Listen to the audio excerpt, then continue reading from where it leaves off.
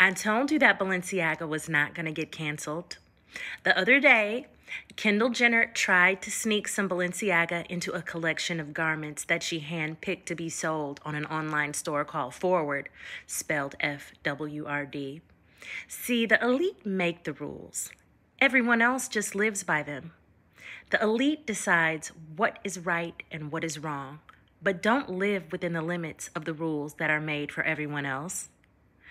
Three days ago, the popular YouTube channel, Threaducation, uploaded a documentary about Demna, trying to humanize him and share his story.